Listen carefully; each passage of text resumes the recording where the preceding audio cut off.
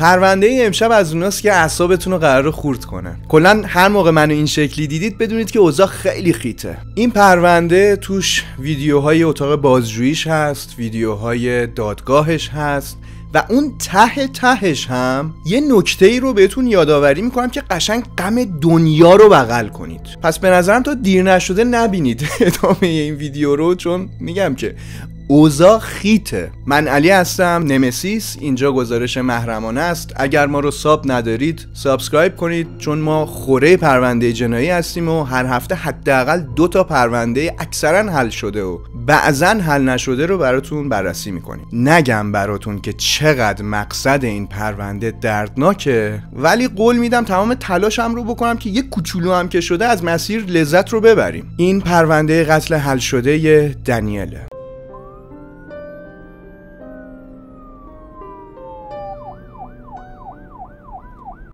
دنیل هفت هفته زودتر از موعود به دنیا میاد. یعنی 11 ژانویه سال 1995 اسمش هم گذاشتن تارا دنیل ریپیانن که من تو این پرونده دنیل صداش می‌کنم با وجود اینکه دختره ولی خب دنیله. همین زنده به دنیا اومدن دنیل خودش یه معجزه بود. چون وقتی به دنیا میاد کلا سه پوند وزنش بود و پزشکا می‌گفتن هم که تا شب هم بمونه عجیبه. ولی دنیل قصه ما با تمامی اون احتمالات کم جنگید و شکستشون داد و در نهایت زنده موند. و همین تلاشش برای زنده موندن و عشقش به زندگی چیزیه که دوستا و آشناهای دنیل همیشه راجع به این دختر میگن. اون توی مدرسهش هم خیلی دختر دوست داشتنی و کار درستی بودش و عضو تیم چیرلیدرهای مدرسه بود. همون تشویق کنندگان. و اون دختری هم بود توی تیم چیر ها که اون نوک هرم می‌رفت وای میستاد. اون رو به خاطر ظاهرش انرژیش کاریزماتیک بودنش و همه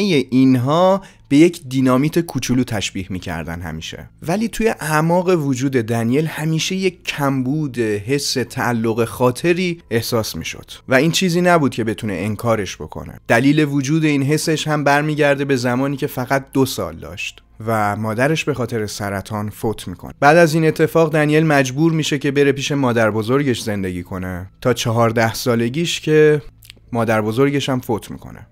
و یک بار دیگه توی همون سن این فقدان نداشتن یک پناهگاه، تکیهگاه و خانواده تمام وجودش رو فرا می‌گیره. بعد از اون اتفاق دنیل مجبور میشه که بره پیش ناپدریش و با اون زندگی کنه. ولی خب زندگی ناپدریش هم پر از مشکلات عجیب و غریب بود و به خاطر همین مشکلات وقت نمی‌کرد که خیلی برای دنیل وقت بذاره. مربی چیرلیدری دنیل که رابطه خیلی خوبی هم باش داشت میگه که دنیل همیشه توی زندگیش دنبال یک ثباتی میگشت و توی رابطهش با دوست پسرهاش هم همیشه دنبال ثبات و خانواده بود. و همین قضیه باعث می‌شد که رابطهش از یک رابطه دوست دختر دوست پسری هم فراتر بره و اون به خانواده دوست پسراش هم پناه ببره و سعی کنه به اونا هم نزدیک بشه. چون آدما دنبال چیزی میگردن که ندارن دیگه و دنیل کنار خانواده دوست پسرش احساس می‌کرد که داره داخل یک خانواده زندگی می‌کنه. که خب همه اینا هم نشد گرفته از کودکی غم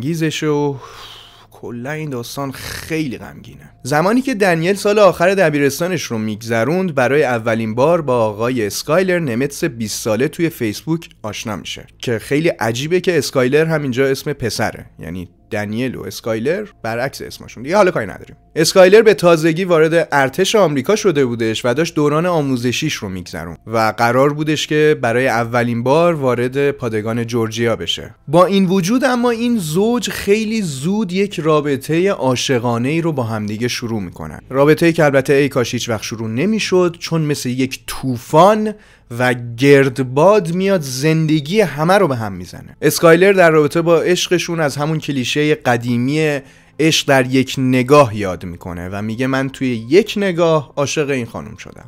و همین الانم بهتون بگم که بچه واقعا سن و سال خیلی مهمه. یعنی تویی که داری الان این ویدیو رو می‌بینی اگر 20 سالته حالا یه چند سال بالاتر یه چند سال پایینتر شاید فکر کنی هر چیزی که داری تجربه می‌کنی دیگه ته تهشه. ولی خب اینطور نیست. یه ذره زمان بده به خودت. بگذاریم حالا بالای منبر نمیرم و به ادامه داستان می‌رسیم. برای دنیل این رابطه اینطوری شده بودش که بعد از یک مدت خیلی کوتاهی وقتی با دوستاش راجع به اسکایلر صحبت می‌کرد می‌گفت این همون شاهزاده سوار بر اسب بیناموسیه که می‌خوام تا آخر عمرم باش باشم. البته که بیناموس رو من اضافه کردم و دنیل این رو نگفت. اما خب دوستاش با توجه به شناختی که از دنیل داشتن و توی رابطه های قبلیش هم دیده بودن که این دختر چقدر deep و عمیق میشه توش خیلی سورپرایز نمی‌شدن از این حرفش. اما حتی با توجه به استانداردهای دنیل هم این رابطه خیلی زود داشت جلو می‌رفت. مادر اسکایلر خانم دنت هلر بعدها صحبت می‌کنه در این رابطه و میگه من خیلی غافلگیر شدم وقتی که بعد از تنها یک ماه از رابطه این دوتا بچه اسکایلر اومد و بهم گفتش که مامان اگر ممکنه دنیل بیاد خونه ما و با ما زندگی بکنه. مادر اسکایلر تمام تلاشش رو کرد که قبول نکنه این درخواست پسرش رو ولی خب در نهایت مجبور شد که قبول کنه و دنیل اومد توی خونه اونا و صاحب یک خانواده شد. اسکایلر برای انجام تمرینات نظامیش رفته بود اردوگاه. یه چند وقت اونجا میمونه دنیل خونه اونا زندگی می‌کرده برمیگرده موقع کریسمس و اونها اولین کریسمسشون رو در کنار خانواده با همدیگه جشن می‌گیرن. یکم میگذره اسکایلر دنیل رو می‌بره بالای کوههای نیلند و اونجا زانو می‌زنه و ازش خواستگاری می‌کنه. و خب دنیل هم گفت این همه راه اومدیم خیلی زشته اگه بگم نه اونم میگه بله و قبول می‌کنن. البته که دنیل اصلا از خداشم بود متاسفانه. و فقط سه ماه بعد از این اتفاق یعنی هفت مارچ سال 2012 دقیقا توی همون روزی که اسکایلر دوران آموزشیش تموم میشه اونها میرن یک محضر محلی توی شهر رو اونجا مراسم ازدواجشون رو برگزار می‌کنن و به صورت رسمی زن و شوهر میشن. چند وقت بعد این زوج جوان از خانوادهشون هم جدا میشن و میرن سمت واشنگتن محله‌ای به نام لیکوود. دلیل رفتنشون به این محل هم این بودش که اسکایلر برای انجام یک سری تمرینات آموزشی نظامی خودش باید می‌رفت اونجا و دست دنیل رو می‌گیره و دوتایی با هم دیگه میرن. چیزی که باعث میشه دنیل حتی مدرسهش رو هم ول بکنه. رابطه این دو نفر از بیرون اینطور به نظر می‌رسید که انگار این دو نفر برای همدیگه زاده شده بودن عاشق همدیگه هستن و از اون رابطه های رویایی که هر کسی آرزوش رو داره بود. با تشویق اسکایلر دنیل مدرسهش رو هم توی همون محله جدید میره ادامه میده و وقتی هم که فارغ و تحصیل میشه درجا میره سراغ کار. یه کار پیدا می‌کنه توی کارخونه تولید گرانیت تا بتونه کمک خرج خونوادش هم باشه. دنیل آرزو داشت که یک روز بتونه سالن ناخونکاری خودش رو تأسیس کنه و همزمان با تأسیس سالن ناخونکاریش پست بذاره ویدیو بگیره از خودش در حین کار و توی یوتیوب بذاره بتونه از توی یوتیوب هم درآمدی کسب کنه. و از اون جایی که دنیل می‌تونسته همکار بالقوه ما باشه به عنوان یک یوتیوبر از اینجا به بعد دیگه واسه من ناموسی شده این داستان. این زوج خوشبخت ما تصمیم می‌گیرن که برای اینکه رنگ و لعابی به زندگیشون بدن دو تا سگ بی سرپرست رو هم به سرپرستی قبول بکنن و بیارن توی زندگیشون. و برنامهشون هم این بودش که طوری کار بکنن که بتونن چند سال دیگه دور دنیا رو بگردن و کیفش رو ببرن. و ته تهش هم بچه دار بشن و یک خانواده خیلی خوب و خوش و خورم داشته باشن. خانواده این کلید گم شده داستان ما. ولی خب کنار همه این چیزای گوگولی مگولی که دارم براتون تعریف می‌کنم از این زوج اینا یک علاقه خیلی شدیدی هم داشتن به یک چیز خاص. در واقع یک علاقه مشترک. مثلا یه سری زوجا هستن دوستان با هم دیگه چه می‌دونم سودوکو حل کنن جدول حل کنن. ولی زوج داستان ما خیلی اهل جدول و سودوکو و اینجور چیزا نبودن. اینا تفنگ بازی دوست داشتن. و تفنگ بازی هم که دارم میگم نه که مثلا برن یه گوشه دیوار بگن کیو کیو کیو. نه. تا تا تا تا مسلسل. یکی از کارهای فوق العاده مورد علاقهشون این بودش که نصف شبا با هم دیگه می‌رفتن این مراکز مخصوص تمرین تیراندازی و اونجا تیراندازی می‌کردن. اسکایلر کلا با اسلحه بزرگ شدش و اولین تیری که از اسلحه شلیک کرد کلا شاید انقدر بود پسره انقدر. واقعا دارم بهتون میگم. و با توجه به کاری هم که داشت توی ارتش خب طبیعی بودش که همیشه اسلحه دم دستش بود. توی سال 2014 این زوج در مجموع 15 تا اسلحه کاستومایز شده داشتش. یعنی اسلحه هایی که شخصی سازی کرده بودنش. و توی تولد 19 سالگی دنیل هم اسکایلر سورپرایزش کرد با چیزی که اصلا فکرشو نمی‌کرد. یه اسلحه. اونم نه اسلحه معمولی بلکه یک AR-15 یا AR-15 کاستومایز شده که خودش کلی وقت گذاشته بود و با عشق و علاقه گرفته بود این گلنگدن و نمی‌دونم خشاب و همه چیزاشو درست کرده بود براش. که حالا از حقم نگذریم واقعا خوشگل بود اصلش اما درست زمانی که همه چی به نظر خیلی گل و بلبل به نظر می‌رسید از بیرون یه سری آدم های محدود که باشون خیلی آشنا بودن و بهشون نزدیکتر بودن می‌دونستن که اوضاع همچین خیلی هم جالب نیست. به عنوان مثال خانم مکیلا یینگلینگ با این فامیلی عجیب و غریبش یکی از بهترین و قدیمی ترین دوستای دنیل بود. این صمیمیت فوقالعاده زیاد بینشون هم از این داستان خیلی غمانگیز نشأت می‌گرفت که جفتشون توی کودکی و سن خیلی پایین مادرشون رو از دست داده بودن و این تراما رو با همدیگه سپری کردن. مادر جفتشون هم بر اثر سرطان لعنتی از دنیا رفت. دوستی اونا از کودکی شکل گرفته بود و کاملا به همدیگه آشنا بودن و مکیلا کسی بودش که کاملا دنیل رو درک می‌کرد. مخصوصا کمبودهای دنیل رو. کمبود محبت اون احساس عدم تعلق خاطر و خانواده. جالب بدونید که مکیلا از همون اول هم حس خوبی نسبت به این آقای اسکایلر داستان ما نداشت. و توی صحبتاش با دنیل هم همیشه یک سری بحثا بینشون بود که تش به این نتیجه می‌رسیدن که خب خب باشه مکیلا تو کلا حال نمی‌کنی با اسکایلر دیگه. okay. البته توی این قضیه خود اسکایلر هم بی تقصیر نبودش. چون خود اسکایلر هم خیلی زود دنیل رو از اون منطقه ای که اینا با هم دیگه همسایه بودن دور کرد و یک فاصله خیلی زیادی بین این دوتا دوست صمیمی ایجاد شد و از طرفی هم هیچ وقت این فرصت رو نمی‌داد به مکیلا که باهاش ذره صحبت بکنه تا شاید اصلا رابطه اسکایلر رو بهترین دوست زنش هم okay بشه. خود اسکایلر هم اصلا هیچ علاقه ای نشون نمیدادش که مکیلا توی زندگیشون وجود داشته باشه و تمام تلاشش رو می‌کرد که دنیل با بهترین دوستش رابطش کم بشه. مکیلا هم ازدواج کرده بود و حامله شده بود و زمان وضع حملش رسیده بود و این درست اون تاریخی بودش که انتظار خیلی زیادی از بهترین دوستش دنیل داشت که کنارش باشه. یه مهمونی می‌گیره مهمونی که قبل از به دنیا اومدن بچه ها معمولا می‌گیرن به نام بیبی شاور حالا نمی‌دونم مدل فارسیش چیه و این حرفا. و دنیل رو دعوت می‌کنه اما اسکایلر اجازه نمیده که دنیل بره مهمونی بهترین دوستش. وقتی مکیلا از دنیل می‌پرسه که خب چرا نیومدی تهش بعد از کلی توجیه شنیدن و این حرفا متوجه میشه که خب مثل اینکه واقعا اسکایلر اجازه نمی‌داد که این دختر بیاد پیشش. از طرف هم این دوتا دوست صمیمی وقتی با هم دیگه تماس تصویری می‌گرفتن مکیلا متوجه می‌شد که اصلا مضطرب این خانوم دنیل. یه استرس عجیبی داره. همیشه نگران این بودش که نکنه خونه کثیف باشه نکنه مثلا فرش کثیف باشه برم شامپو بگیرم فرش رو تمیز بکنم چون اسکایلر خیلی حساسه روی این تمیزی و این حرفا. و یک روتینی وارد زندگی شده بودش که مربوط به زمانهایی بودش که اسکایلر می‌خواست بیاد خونه. باید کل خونه رو برق مینداخت و بنا به دلایلی استرس هم داشت بابت این قضیه. سامانتا مینتون هم یکی دیگه از دوستای صمیمی دنیل بودش که این دوتا هم با هم دیگه به مدت خیلی خیلی زیادی دوست صمیمی بودن. اون هم متوجه یک سری رفتارهای عجیبی از دنیل توی رابطه شده بود. سامانتا توی حرفای دنیل متوجه شده بودش که اگه یه زمان یه زوجی بخواد بیاد خونه اونا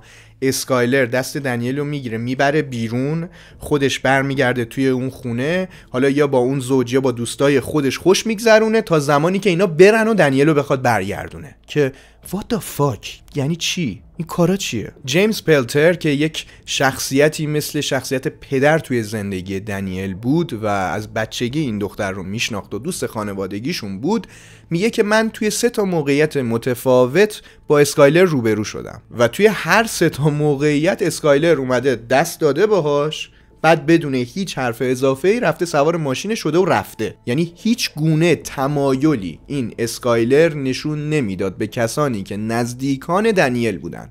و اجازه نمی‌داد که اونا بهشون نزدیک بشن. این در واقع برداشتی بود که جیمز از رفتار اسکایلر گرفته بود و به نظر هم دقیق و درست میومد. یه روزی دنیل توی صحبتاش با جیمز سوتی میده و میگه که آره ما سر یک جر و بحث و مشاجره ای که با هم دیگه داشتیم اسکایلر قاطی می‌کنه و گوشی من رو میشکونه و خوردش می‌کنه. و جیمز بعد از اینکه این حرف رو میشنوه به دنیل میگه که ببین با من کاملا صادق باش. راستش رو بگو. از اسکایلر میترسی؟ و جواب جواب دنیل اون رو شدیدن نگران می‌کنه. اون در جواب میگه فقط وقتایی که مشروب می‌خوره. و این دقیقا چیزی بودش که تمام دوستای دنیل هم دیده بودن توی اسکایلر. یعنی علاوه بر اصلا دوستای دنیل همسایه هاشون توی اون منطقه متوجه این داستان شده بودن. یعنی می‌گفتن صدای جر و بحث این زوج کل محل ما رو چیز کرده سرویس کرده داستان کرده. و انقدر بلند بلند بحث می‌کردن که اینا می‌دونستن سر چی دارن بحث می‌کنن و همشون هم سر چرت و پرت بوده. و مشخص بود که اسکایلر هم مست بوده. اسکایلر حالا به هر دلیلی به یک باوری رسیده بودش که دنیل به من وفادار نیست و داره به من خیانت می‌کنه. و یک بارم در قالب یک تکس یک پیام به دنیل میاد میگه که من مطمئنم که تو داری به من خیانت می‌کنی با دوست دوران بچگیت. دنیل هم در جواب حرف خوبی بهش می‌زنه. میگه تو یا insecurity داری در رابطه با خودت یک ناامنی درونی داری در رابطه با خودت و اگر اینطور هستش حتما باید بری رو خودت کار کنی و درستش کنی. یا اینکه به من اعتماد نداری که من مثلا با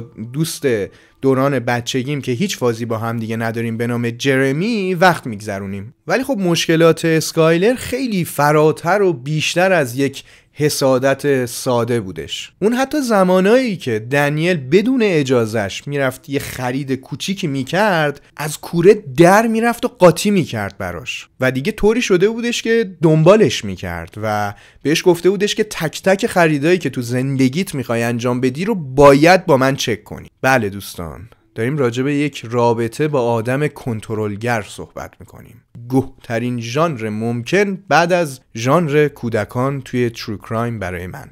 27 سپتامبر سال 2014 اسکایلر برای انجام یک سری تمرینات نظامی به مدت سه هفته مجبور میشه بره کمپ آموزشی و دنیل هم به همراه دو تا سگشون توی آپارتمان میمونه. وقتایی که اسکایلر توی کمپای آموزشی نظامیش بود اون اجازه نداشت که مشروب بخوره قاعدتا و مصرف مشروبات الکلی اونجا ممنوع بودش. و سه هفته هم برای همچین آدمی خیلی time زیادیه. همین میشه که اسکایلر وقتی نزدیک برگشتنش به خونه بود به دنیل زنگ می‌زنه و بهش دو تا سفارش شیشه مشروب ویژه میده و میگه این دوتا رو برا من آماده کن که وقتی برگشتم بزنیم به بدن. یه بطری Sailor Jerry rum و یک بطری هم Fireball whisky مشروب های مورد علاقش. چیزی که به نظر میاد یه انتخاب ساده باشه. حالا میگه می‌خوایم با هم دیگه مشروبی بخوریم ولی خب نقش بسیار مهمی رو در ادامه داستان ما ایفا می‌کنه. 16 اکتبر دنیل توی یک تماس تصویری با بهترین دوستش مکیلا بهش میگه که آره من امروز می‌خوام برم دنبال اسکایلر توی کمپ. اون از کمپ داره برمیگرده. و خیلی از این بابت ذوق زده هستم. یک سری خریدار رو باید انجام بدم. خونه رو یه جوری تمیز کردم که همه جا داره برق می‌زنه. شم روشن کردم توی خونه. گل خریدم توی خونه گذاشتم و حسابی ذوق زده بود بابت بازگشت شوهر حرامزادش. در انتها هم تماسش رو قطع می‌کنه و میره دنبال آقا. ساعت چهار بعد از ظهر دنیل یک تماس دیگه با مکیلا می‌گیره. باز هم تماس تصویری و مکیلا توی تصویر می‌بینه که دنیل نشسته روی صندلی توی اتاق خوابشون و اون پشت تصویر هم توی background جناب آقای اسکایلر روی تخت دراز کشیده و اینجوری داره دست تکون میده. اینجوری هم کردم منظورم این بودش که یه مقدارم مس بود. نیازی نبود اونجوری نشونتون بدم. خلاصه و دقیقا دوازده دقیقه بعد از این تماس تصویری این تماس با اپراتور 911 از طرف همسایه ها گرفته میشه 911 when you reporting Hi, uh, I think somebody was shot our neighbors. Uh, we heard a lot of banging. Our neighbors were making a lot of noise. He said his rifle was out and there was an accident. He said her name is Danielle. Danielle was the one that shot, and he accidentally shot her. I don't I don't know that part. We just heard the gun go off and he said there's an accident. Okay. Is she breathing at all? Is she breathing? Is she breathing? No. No. And you said you don't know his name? No, I don't. Can you ask him his name? What's your name? Skyler. Will you hear someone screaming? Um, I I was I'm their neighbor and I heard a shot um go off and I wasn't sure if it was shot or anything else. Um, uh, the husband has said that she's dead, and he doesn't want me going in to see her. Uh, it was a it was a accidental discharge because the the round was in a right in a rifle, So the And mail told guess- you that his wife is dead? Yes. Okay. So she accidentally shot herself, is that correct? Or what you've been told Uh, anyway? She accidentally shot herself the, the husband does not want to talk about it. Uh, okay. Uh, um, so uh, we just need somebody here. Yeah, we have we have been notified it sounds like from somebody else. Um, do you guys know where that rifle is that, now at all? I didn't ask. Bad. اسکایلر به همسایه ها گفته بودش که دنیل زمانی که داشتش اسلحه ای که براش کادو گرفته بودم رو تمیز می‌کرد به صورت اتفاقی به خودش شلیک کرده و به هیچ کس هم اجازه نمی‌داد که برن داخل خونه رو ببینن و خودش هم قبول نمی‌کرد که با اپراتور 911 صحبت بکن و الان هم اصلا گیر ندید به این قضیه ای که چرا میگین 911 من قبلا هم گفتم بازم میگم. من اگر یه آدم خارجی بودم و می‌خواستم یک پرونده رو داخل ایران کاور بکنم می‌گفتم and then he called 110 and he told them what happened. پس اصلا این حرف رو نزنید به من. خلاصه همسایه که زنگ زده بودن به 911 بالاخره بعد از چند دقیقه افسر رودریگز به همراه دو تا از مامورین زیر دستش میان به اون محله و اولین نفرایی بودن که میرن داخل خونه رو نگاه می‌کنن. اونها دنیل رو دقیقا توی همون اتاقی که داشت با مکیلا اون تماس تصویر رو می‌گرفت پیدا می‌کنن. در حالی که روی صندلیش پشت به کامپیوتر افتاده بود و مغزش ریخته بود بیرون و زیر پاش رو هم یک دریای خونی گرفته. به دنیل از ناحیه پشت سر و از فاصله نزدیک شلیک شده بود. شلیکی که در نهایت منجر به فوتش میشه توی همون محل. این پلیسان وقتی رسیده بودن اسکایلر رو بیرون از خونه در حالی که روی کاپوت ماشینش اینجوری افتاده بود پیداش می‌کنن و میبیننش. افسر رودریگز در رابطه با اسکایلر و رفتارهاش اینطور صحبت می‌کنه که می‌گفت صورت اسکایلر به هم ریخته بود و صدای حق حق هم می‌داد ولی وقتی مستقیم توی چشاش نگاه کردم هیچ اثری از اشک و گریه نبود. و خودش هم وقتی دید من دارم مستقیم توی چشاش نگاه می‌کنم سریع گفتش که نمی‌دونم چرا گریم نمی‌گیره. احتمالا حمله عصبیه. اسکایلر زمانی که افسر رودریگز داشت داخل خونه و اون صحنه جرم رو بررسی می‌کرد بیرون از خونه و داشت با یکی از افسرها به نام آقای درل مور صحبت می‌کرد و یک سری توضیحات رو می‌داد. اون به افسر مور اینطور توضیح میده که زمانی که من نشسته بودم روی تختم و داشتم با اسلحه‌ام ور می‌رفتم یهویی دستم می‌خوره بهش و یک تیری در میره از این اسلحه و مستقیم می‌خوره توی سر زن عزیزتر از جانم دنیل و اصرار هم داشت که من نمی‌دونستم که یک فشنگ هنوز داخل اسلحه هستش و اسلحه پره. و خب این داستان با اون داستانی که برای همسایه ها تعریف کرده بود و همسایه ها هم برای نانوانوان تعریف کرده بودن تناقض داشت دیگه. تناقض که چه ارز کنم اصلا کلا یه داستان دیگه بود. همونطور که قطعا یادتونه اون به همسایه اومده بود گفته بودش که دنیل داشته با این اسلحه کار می‌کرده که اشتباهی به خودش شلیک کرده. آره اونم از پشت اشتباهی اینجوری. دیگه از اینجا به بعد سری داستانهای متفاوت اسکایلر از اتفاقی که افتاده بود توی خونه شروع میشه. که ما تا اینجا دو تاش رو شنیدیم. افسر رودریگز از داخل خونه میاد بیرون بعد از اینکه صحنه جرم رو تا حدودی بررسی کرد و میاد پیش اسکایلر تا باهاش صحبتی بکنه و اسکایلر یه بار هم حالا واسه افسر رودریگز یه داستان تعریف می‌کنه. و اسکایلر به رودریگز میگه که آقا من اصلا کاری نداشتم که اصلا دستم بود. یه لحظه اومدم اینجوری تکونش بدم یهو شلیک کرد. فقط داشتم تکونش می‌دادم. ساعت 6 و 7 دقیقه بعد از ظهر اسکایلر رو دستگیر می‌کنن و میذارنش توی صندلی. عقب ماشین پلیس. و بهش میگن که داخل این ماشین پلیس که شما صندلی عقبش نشستی یک دوربین وجود داره که هم تصاویرت رو ضبط می‌کنه هم صدات رو ضبط می‌کنه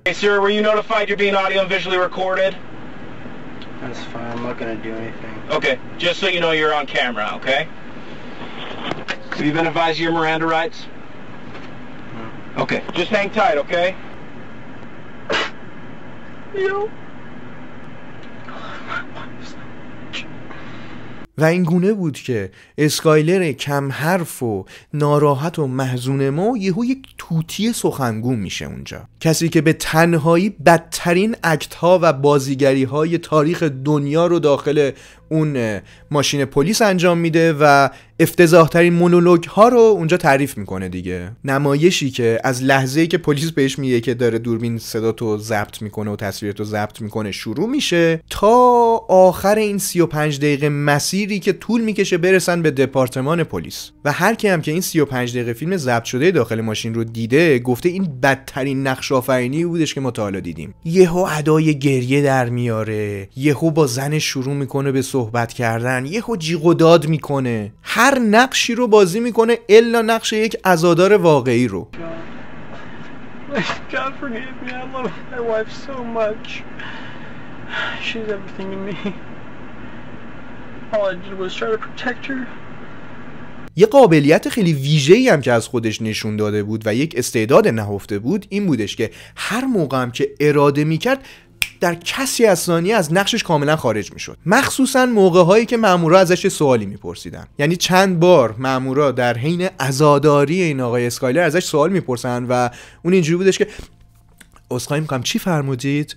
متوجه سوالتون نشدم. جواب سوالشون رو می‌داد و داد و داد که بعید و بعد دوباره برمیگشت توی نقشی که داشت بازی می‌کرد. وقتی که می‌رسن به ایستگاه پلیس پلیسا بازجویی اسکایلر رو شروع می‌کنن. بازجویی که نزدیک به پنج ساعت زمان می‌بره. داستانهایی که اسکایلر تعریف می‌کنه توی این بازجویی پر از سوتی و اشتباه و اصلا تناقضه. انقدرم سوتی میده که اصلا خیلی زود تابلو میشه واسه پلیسا و پلیسا از یه جایی به بعد دیگه می‌دونستن داستان چیه. این دفعه توی داستانی که توی اتاق بازجویی واسه پلیسا تعریف کرده بود گفته بودش که خشاب تفنگ توی کمد بودش و کمد هم خیلی فاصله داشته با تفنگ. یعنی خشاب و تفنگ کنار هم اصلا نبودن. ولی خب بعد توی داستان بعدی که تعریف می‌کنه خیلی زود سوتیه رو میده. چون توی داستان بعدی که داره تعریف می‌کنه میگه زمانی که می‌خواستم تفنگ رو بذارم سر جاش اول خشابش رو در آوردم. همون خشابی که گفته بودش که اصلا داخل تفنگ نبوده توی داستان قبلی و گفته بودش خیلی هم ازش دور بوده. پلیسا هم که همونطور که بهتون گفته بودم دیگه از یه جایی به بعد متوجه میشن داستان چیه و این آدم چقدر داره سوتی میده هی مجبورش می‌کنن تا داستانش رو از اول تکرار کنه و همین باعث می‌شد که هر بار این آدم میومد از اول داستانش رو تعریف بکنه یک سری جزئیات رو فراموش می‌کرد و به جای اون جزئیات یه سری جزئیات جدیدی رو اضافه می‌کرد. Like,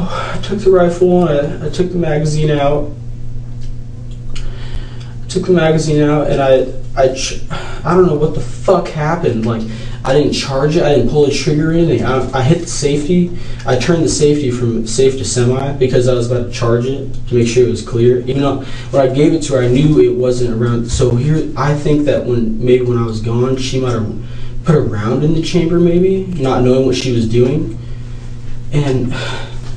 So I don't know what the fuck. I did not pull the trigger, and I didn't. The magazine was not on the weapon. I put the weapon on fire. It was on fire, so it had the probability of firing the weapon. And I don't know how the fuck it went off, but it went off. تا جایی که اصلا تو یکی از آخرین داستانهاش میاد میگه که اصلا دنیل بهم گفته بودش که میشه این اسلحه رو بذاری کنار 30 minutes before this all happened, she took it from the closet into the bed, into the office, Okay. and she said, "I don't need this anymore. Just put it away." دیگه یه جورایی خودش هم فهمیده بود که داره می خراب می‌کنه. اما با وجود تمامی این تناقض ها یه تیکه از داستانش همیشه ثابت بود و تغییر نمی‌کرد. اونم زمانی بودش که داشت اسلحه رو خلع سلاح به اصطلاح می‌کرد و خشابش رو در می آورد و انقدر هم به این داستان مسلط بود که کاملا به صورت ناخودآگاه با دستش نشون می‌داد که دقیقا این چجوری کار می‌کنه. که این کاری که من کردم کاملا نشون میده که من بلد نیستم با اسلحه کار کنم. چون سلاح من چیز دیگه ایه میاو اینم سر این اووردم که یه موقع علی منو نکشه دیگه در صوفی اشتباه کردم. ببخشید. نباید میاو می‌کردم.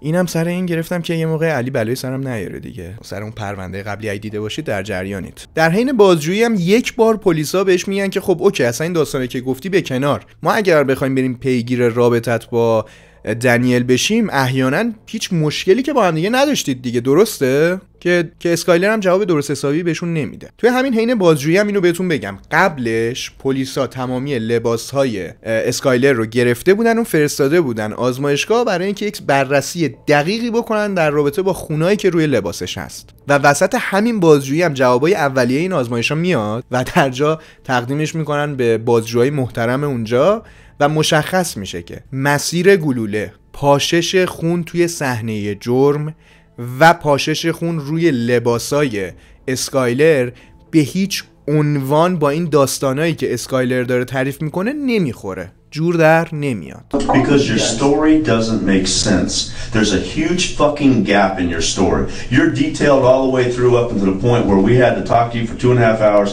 to get you to realize that we're smarter than you think because the fucking trajectory of that fucking round didn't match up. So immediately you changed the fucking story. That's about the eighth time you've done that. When your story, about eight times, when your story doesn't make sense and you hear it for the second time and we bring something up, you change the story. I'm trying to figure out why you put a gun to the back of your wife's head and pulled the trigger. همونطورم که دیدید فقط ما عصبی نیستیم سر این داستان بازجوها هم دیگه اصلا کشش این آدم رو نداشتن و وقتی دیگه قاطی می‌کنن براش و این اطلاعات رو بهش نشون میدن و میگن آقا با این سند و مدرک و فکت تو داری زر می‌زنی؟ دیگه اسکایلر میگه آقا OK OK. همه داستانایی که براتون تعریف کردم فراموش کنید این یه دونه رو گوش کنید. تو این داستان جدیدش این دفعه میگه نه تنها من اون کسی بودم که شلیک کرده بلکه اصلا اتفاقی هم نبوده این داستان. فقط مشکل اینجا بودش که من نمی‌دونستم اسلحه پره و بله من رفتم بالا سر دنیل وایستادم پشت سرش و اسلحه رو گرفتم رو به سرش و فکر می‌کردم که اصلا آماده به شلیک نباشه همینجوری به شوخی یه دونه تق زدم و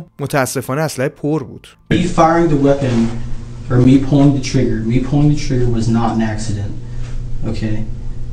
Me, the, the you know I did not know there was a round in there. Her getting hit with that round, that was that, and I was not. It was an accident, and I was not mad. I was not angry. Okay, so tell me what happened. The, I was holding the weapon. I took the magazine out. Okay. I was for some reason. Okay. I took the fucking magazine out. I put the weapon on fire, and I pulled the trigger. بازجوها دیگه اینجای داستان در به در دنبال انگیزه اسکایلر از این کارش بودن ولی خب اسکایلر چسبیده بود به همین داستان آخریش دیگه و می‌گفت بله من این کار انجام دادم ولی خب قصدم این نبود اصلا اما خیلی زودتر از چیزی که خود بازجوها هم بخوان فکرش رو بکنن شاهد از در و دیوار مثل مور و ملخ ریخت تنها یک روز بعد از مرگ دنیل خانومی به اسم کری فاس میره به همون ایستگاه پلیس و بهشون میگه که من فکر می‌کنم اطلاعاتی دارم که به دردتون می‌خوره در رابطه با این پرونده. کری فاس همسر آنتونی بود و آقای آنتونی هم توی پادگان رفیق جینگ آقای اسکایلر بود. کری با گنگ پر اومده بود اونجا و به پلیس میگه که من در طول مدت زمانی که این زوج رو می‌شناسم یعنی از اون روزی که من این دوتا رو می‌شناسم اسکایلر داشته دنیل رو مورد آزار و اذیت و خشونت خانگی قرار می‌داده. در حدی که دنیل خیلی وقتا مجبور بوده تا آستین بلند بپوشه تا وقتی باشون میاد بیرون جای زخم و آزار و اذیتی که به بدنش وارد شده مشخص نشه. کری میگه که اسکایلر در حدی آدم کنترلگری بود توی این رابطه که بعضی وقتا حتی اجازه نمی‌داد دنیل به صورت کلی از ساختمون خارج بشه. تحت هیچ شرایطی. حالا اینو هم بهتون بگم. پلیس وقتی میره صحنه جرم رو ببینه یه رسید می‌بینه داخل اتاق که مربوط به خرید 12 تا گل روز بود. اما داستان این گل روزا چی بود؟ یکی از همکارای دنیل برای زن خودش گل روز خریده بود و رسیدش پیش این دنیل بدبخت بود. همکارم که دارم بهتون میگم در واقع مایکل نیوتون رئیس دنیل سر کارش بود. پلیسا از کریم می‌پرسن راجبه اینکه آقا چیزی راجبه این گل روزا می‌دونی؟ رسیده؟ و کریم توضیح میده که آره می‌دونم کاملا من در جریانش هستم. اون برمیگرده از اول و میگه که مثلا یادمه که دنیل قبلا با همدیگه راجبه مایکل صحبت کرده بودیم. و دنیل هم پیش کری گفته بودش که آره از نظر من مایکل نیوتون آدم جذابی هستش ولی در حد شوخی و حرف بود. این حرف بین خودمون مونده بودش. و هیچ چیزی بیشتر از این نبود این داستان. اما خب اسکایلر طور دیگه ای فکر می‌کرد و این آدم مریض کاملا خودش رو قانع کرده بودش که قطع به یقین دنیل و مایکل با هم دیگه رابطه دارن. اسکایلر قبلا هم پیش اومده بودش که بخواد بره اردوگاه و چند هفته بمونه و یک بارش رو رفته بودش به دنیل گفته بودش که واسه من مشروب بگیر مثل همین سری. دنیل نمی‌تونسته بره به هر دلیلی خرید بکنه و اسکایلر فکر میکردش که رفیقش آنتونی رفته بود این الکلا رو گرفته بود. ولی بعدن که میاد خونه متوجه میشه که آنتونی اینا رو نگرفته. یعنی در واقع وقتی از آنتونی تشکر می‌کنه بابت خرید الکل ها متوجه میشه که کار اون نبوده. کار کی بوده؟ مایکل نیوتون بدبخت رئیس. دنیل رفته بودش این الکلا رو واسهشون گرفته بود. و کری میگه که من اون لحظه بودم وقتی که اسکایلر این قضیه رو فهمید و انقدر اسکایلر اون لحظه عصبی شده بودش که من به چشمم دیدم که تمام بدنش داشت میلرزید از خشم و عصبانیت. کری در رابطه با این مطلب هم صحبت می‌کنه که بله دنیل در طول این سه هفته ای که اسکایلر توی اردوگاه بودش دوست دوران بچگیش جرمی رو دوبار دید و کری میگه که من و دنیل کاملا در رابطه با این قضیه با همدیگه صحبت کرده بودیم با همدیگه تکس بازی کرده بودیم. و در ادامه هم کری میگه که من فکر می‌کنم شوهرم آنتونی اومده این پیاما رو توی گوشی من پیامایی که بین من و دنیل بوده رو رفته دیده و رفته به گوش اسکایلر رسونده. که اینجا جا داره توی پرانتز میگم که واقعا دم کری گرم. یعنی ببینید این زن چجوری پشت دنیل در اومده.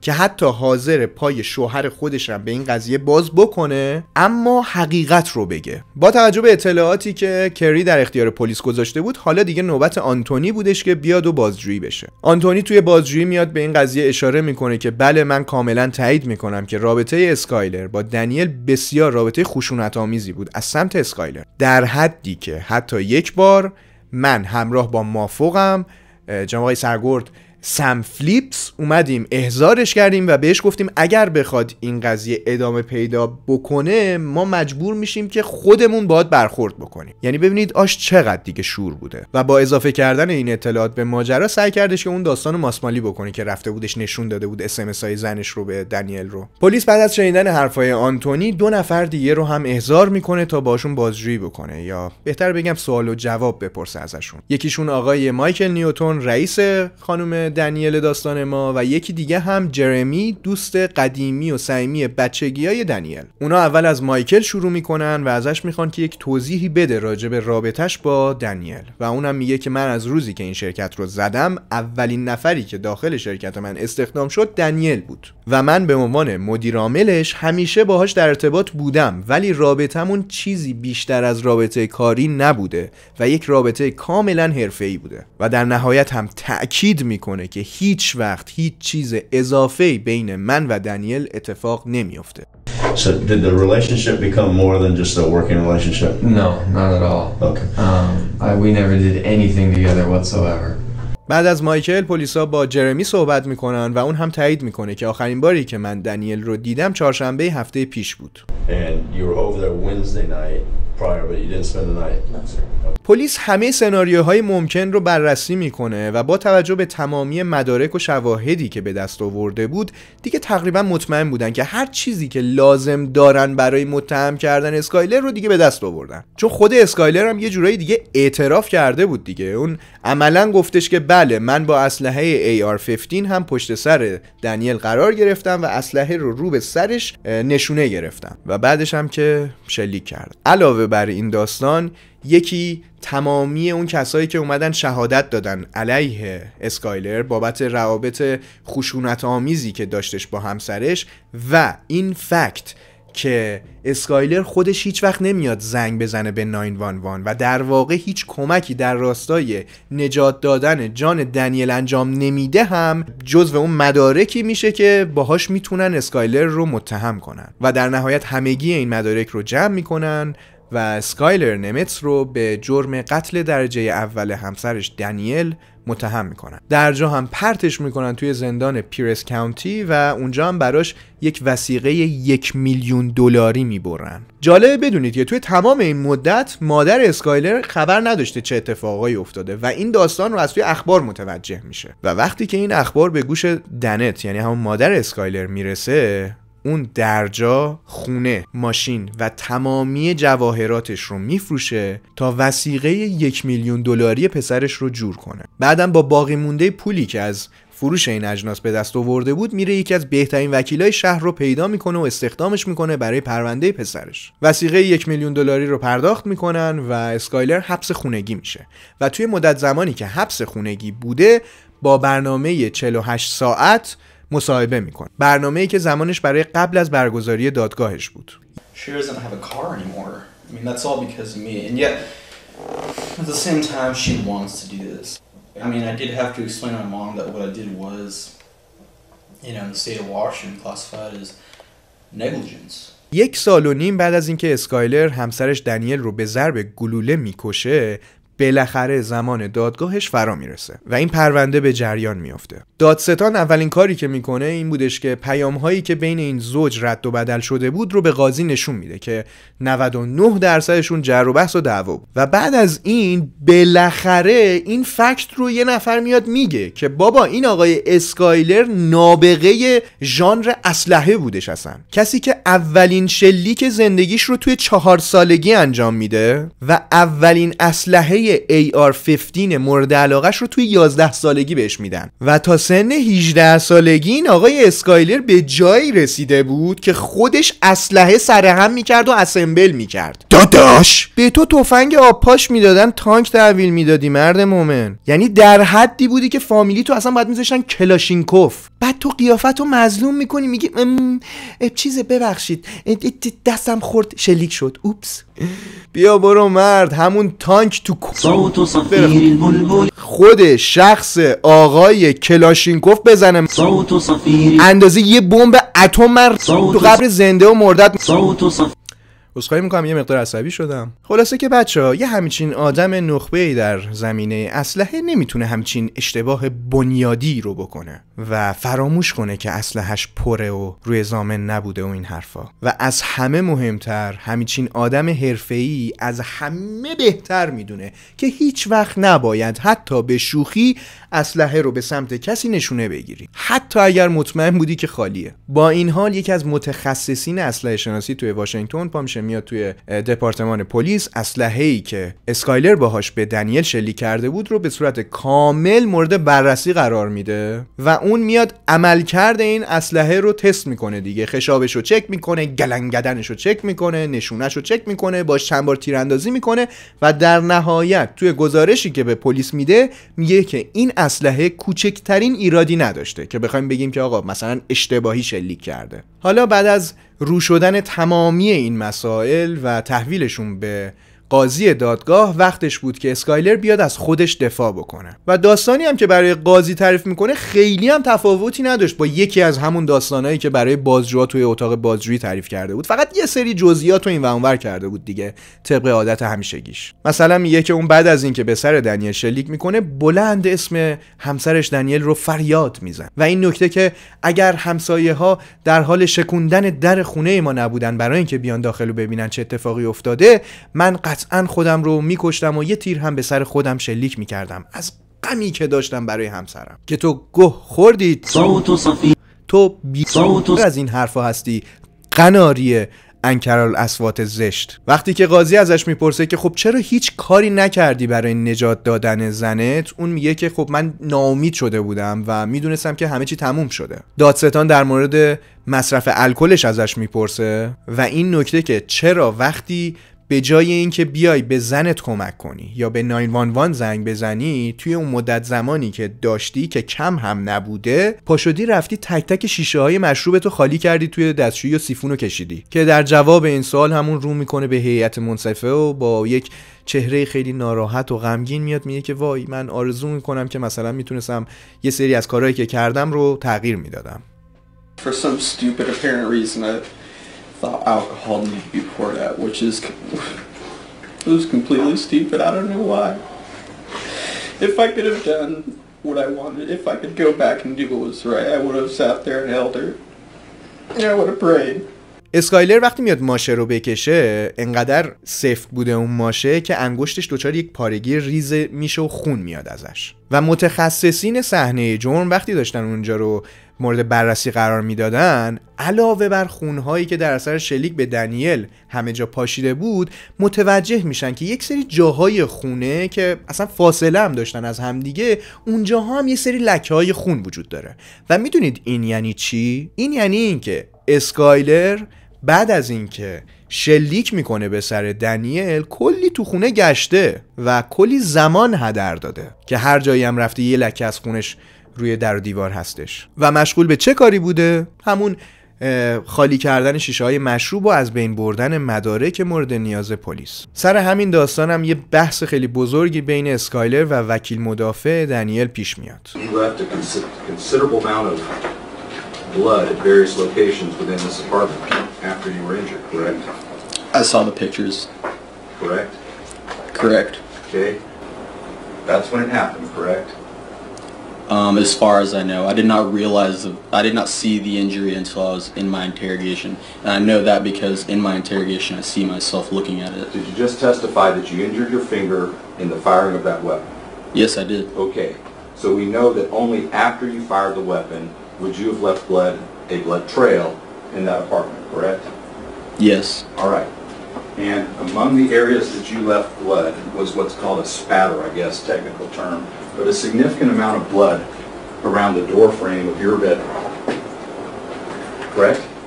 I believe so. Okay. And we also know that you left a smear on the top of the refrigerator in the kitchen, correct? Yes, I've seen that picture. Okay. And you also left a smear by the slider, correct? Yes, I've also seen that picture. And that would positively indicate areas that you went before you ever answered the door, correct? Yes, possibly. Possibly? Did you go to the slider after answering the door? Um, I do not remember. You don't remember? Yes, sir. Okay. You remember pulling the trigger? No, I do not. Don't remember that either. و همین میشه که وسط این بحث ناگهان مایکل استوارت وکیل گرون قیمت آقای اسکایلر میپره وسط و میاد دفاع بکنه از موکلش و میاد کلی توضیح میده که خلاصش این میشه که آقا بله درست اسکایلر دنیل رو کشته ولی این با برنامه ریزی از قبل نبوده اون قصد و نیتش این نبود همه این حرفا رو می‌زنه برای اینکه قتل درجه یک رو از موکلش دور کنه. 3 مارچ سال 2016 یعنی هفت روز بعد از این دادگاه دادگاه بعدی که برای اعلام رأی هستش برگزار میشه. و توی این دادگاه اسکایلر به جرم آدم کشی گناهکار شناخته میشه. ولی دادستانا و هیئت منصفه و قاضی در نهایت قتل درجه یک تشخیص ندادن این داستان رو. و گفتن که با قصد و نیت قبلی این اتفاق رخ نداده و و در نتیجه اسکایلر به جرم قتل درجه دوم و کشتن همسر 20 سالش دنیل بخت برگشته فقط و فقط 13 سال و نیم حبس می‌گیره One eternity later. یعنی توی همین سال 2029 قرار آقا آزاد بشه. و من می‌تونم همین جوری شوکه 20 دقیقه دیگه رو توی دوربین همینجوری زل بزنم و نگاه کنم.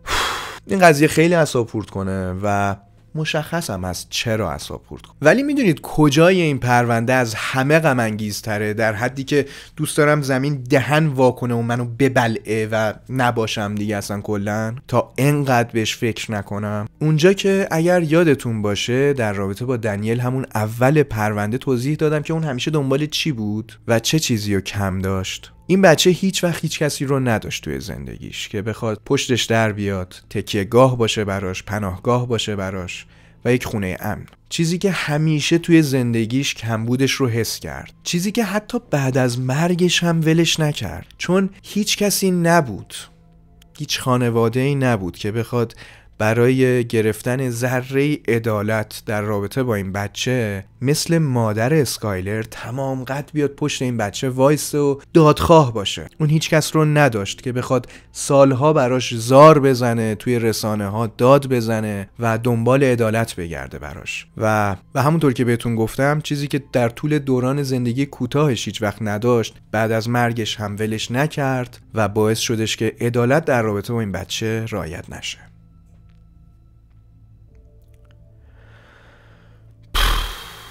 این بود پرونده قتل دنیل که وحشتناک بود خورد کن بودش و من احتمالا بعد از اینکه ویدیو تمام بشه با کله می‌خوام برم تو دیوار چون شاید اونجوری یه کوچولو آروم بشم. خلاصه من علی هستم. نمسیس اینجا گزارش محرمانه است اعصاب ندارم.